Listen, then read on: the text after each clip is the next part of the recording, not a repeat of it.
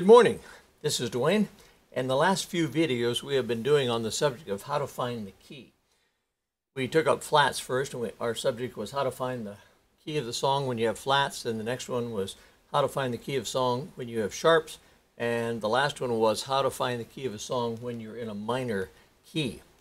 So what I'd like to do today is simply give you all three of those videos combined because people watch one and then they can't locate the other. So I'm going to put all three together here on this combination or summary video. So nothing new, but all three are included here. So with that, I'll say goodbye and here goes flat keys first. Good morning, this is Duane. And we've been doing a series called Good Stuff You Really Ought to Know About Music. And one thing you absolutely need to know about music is the concept of keys. What does it mean to play in the key of F? Or uh, if a song's written in the key of E flat, what does that mean? Uh, some people go through life and they play the piano or sing in the choir or something and they still ask, how do I know what key this is in? I just had a guy ask me the other day, uh, this has two flats, what, what key is that?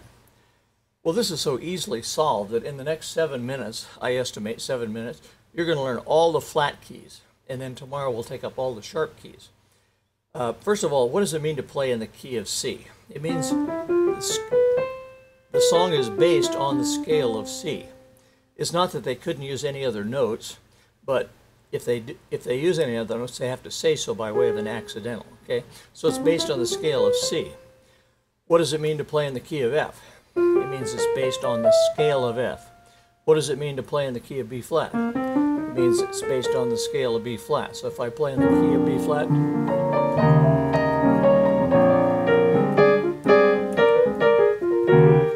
I've got those three flats to deal with, don't I? Okay? Or two flats in the key of B flat, sorry. If I play in the key of E flat, I have three flats. Okay, so let's learn the order of the flats and then what key it's in. Uh, all the keys are in, okay? The key signatures.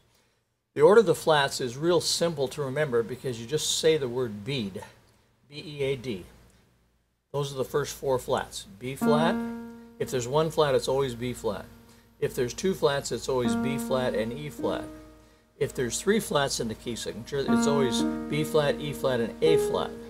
And if there's four flats in the key signature, it's always B flat, E flat, A flat, and D flat. Okay? Now, if there's uh, five flats in the key signature, it's always B flat, E flat, A flat, D flat, and G flat. Now usually you won't go past that, but if you do, if there's six flats, they're always B flat, E flat, A flat, D flat, G flat, and C flat. And if there's seven flats, which there very seldom are, but if you should encounter that, they're B flat, E flat, A flat, D flat, G flat, C flat, and F flat. I know it looks like B and, and E, but it's really C flat and F flat, key-wise, okay? So, if you have one flat, what is it? It's always B flat. So if you see one flat in the key signature of a song, it's B flat in the key signature. If you have two flats, B E. If you have three, B E A. If you have four, B E A D. That'll probably do you for the most part if you just remember the word bead. But if you want to also remember the last uh, three flats, say something like go catch fish. So the order is B, E, A, D, go catch fish. B, E, A, D, G, C, F. Okay? Now, if, if you have no sharps or flats, you're in the key of C because you're based on that scale of C. If you have one flat, you're in the key of F. Just memorize that. If you see a B flat in the key signature, uh, you're in the key of F because it's based on that scale of F. After that, it's real easy to remember because if you see two flats in the key signature, they're always what? B flat and E flat. And the second to the last flat is the key. Well, E flat's the last flat. What's the second to the last flat? B um, flat. So you're in the key of B flat if you got two flats, B flat and E flat. If you have three flats in the key signature, B flat, E flat, and A flat, what key are you in? The second to the last flat, which is E flat. If you have four flats, if you see four flats in the key signature, B, E, B flat, E flat, A flat, and D flat, what key are you in? You're in the key of A flat. If you see five flats in the key signature, B flat, E flat, A flat, D flat, and G flat, what key are you in? That's right, you're in the key of D flat. And that's because it's based on the scale of D flat, which has those five flats, right? So I can play, I can play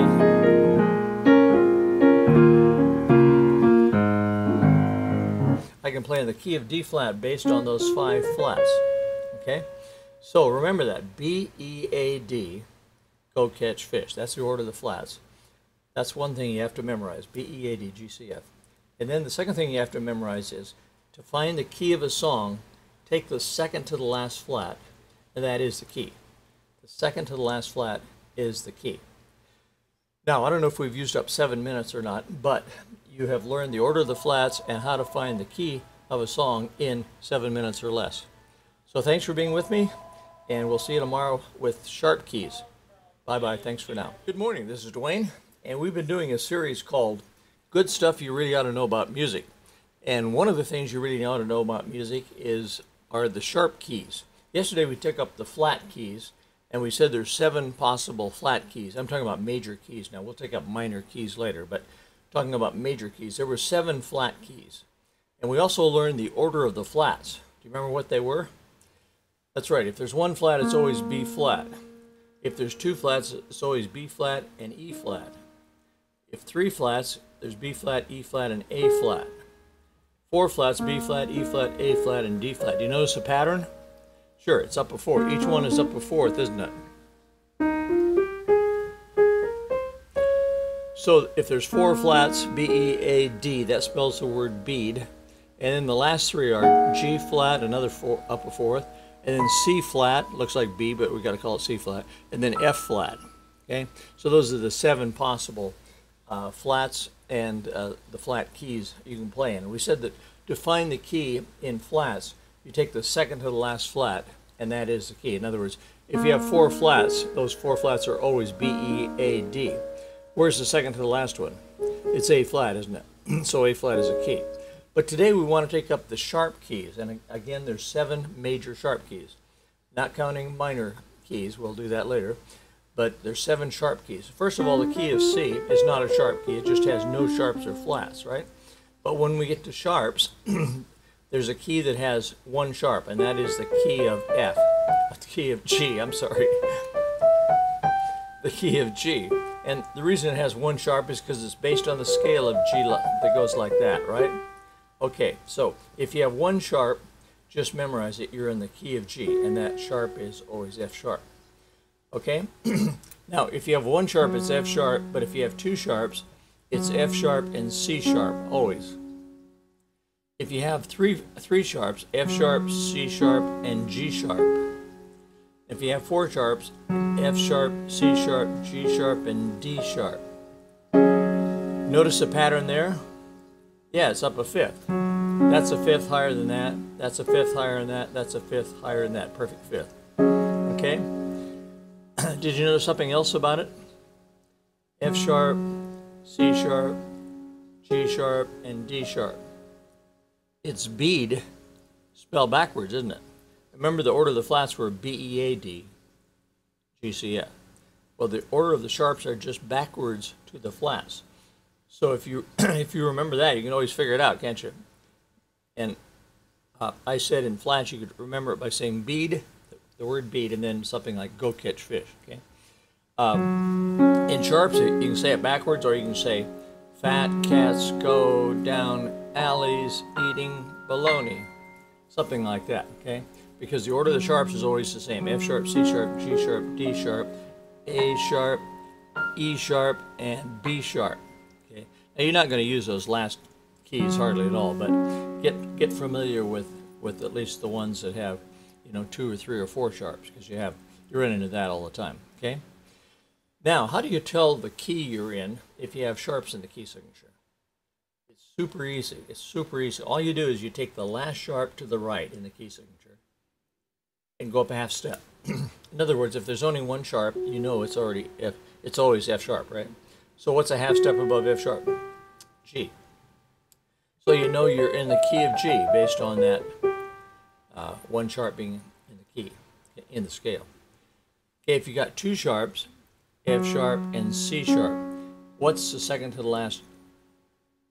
I'm, what's what's the last sharp? C sharp. So you go up a half step to what?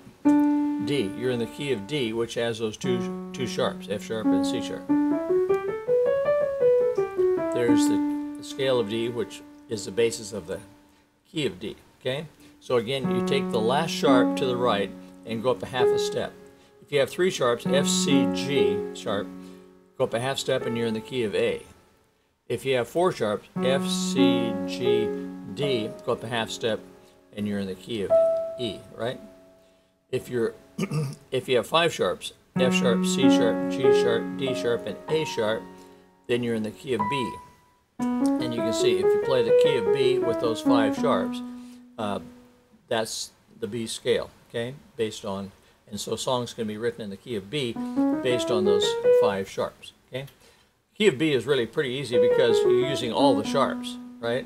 There's none that you leave out. You're, you're losing all the black keys. Kind of like the, it's exactly like the key of D flat, by the way. You're using all the flats um, and nothing else. Okay, so you want to learn the order of the sharps, which is F, C, G, D, A, E, B. Fat cats go down E, Z, N, Bologna, or any others saying any other memory device you want to use to remember that. And then you secondly want to learn how to tell what key you're in if you have sharps in the key signature. And we simply take the last sharp to the right and go up half a step. And that's really all you need to know. So we've covered the keys of the flat keys and the sharp keys. And tomorrow we'll go on to uh, rel the relative minor keys and determine how we find the key uh, there. So if you enjoy these uh, little videos, come on over to playpiano.com and sign up for our whole series. So I hope to see you there. So bye-bye for now. Good morning, this is Duane, and we've been doing a series called Good Stuff You Really Ought to Know About Music. And uh, recently I covered the order of the flats and how to find the key when you have flats. In other words, when you have one flat, how do you know what key you're in? When you have two flats, how do you know what key you're in? And then we covered sharps, how to know what key you're in when you have sharps. Today I'd like to take up the subject of how to know what key you're in when the song is, is obviously minor. In other words, when you, when you hear a song and it's minor, how do you know whether it's in the key of C or the key of you know, some other key? Okay.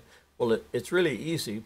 If you're looking at a piece of sheet music and you see uh, a key signature with no sharps or flats, you're probably 95% certain, or 80% certain anyway, that you're in the key of C because it's based on the scale of C, which has no sharps or flats. If, on the other hand, you see a song that has one flat in it, you're 80% certain that it's in the key of uh, F because it's based on the scale of F. If you see a song with one sharp, you, you know it's in the key of G, and so on because of what we talked about earlier. But what if what if you look at a, at a key signature at a piece of sheet music and it has no sharps or flats, but it sounds minor? Well, what you have to do is look at the first chord and the last chord, and if either one of them are A minor, it's probably in the A, key of A minor instead of C major. Now, what, what links the key of C major and C minor? Why are they related? Because the key of A minor uses exactly the same notes as the scale of C. Here's what the scale of C uses, those notes, okay? Here's what the scale of A minor uses, those same notes, okay? It's not that it can't use others, but that's indigenous or organic to the key of A minor. So what you do is you find any relative minor key by going down a step and a half from the major key. In other words, if, if you you think you're in the key of C, but you might be in the key of A minor. You go down a step and a half from C, and that's the relative minor key. If you see a key signature that tells you you're in the key of F, but it sounds minor, check the first and last chords, and if it's in a minor key, it's in D minor. Why? Because it's, that's a relative minor key. It uses the same notes as the scale of F to, to base that uh, song on, okay? If you're in the key uh, if you have, say, two sharps, you would normally think you're in the key of D, right? Okay, but it might be in the key of what? B minor. Go down a step and a half from the major key, and that is the relative minor key. A step, you know what a step and a half is. There's a whole step, and there's a half step. A whole step always skips a key, and a half a step skips nothing except the crack. Okay. Let's say that you have uh, three flats. You would normally know you're in the key of E flat, right? So you'd be playing in the key of E flat, right? But it might be in the key of what? Might be in the key of A minor.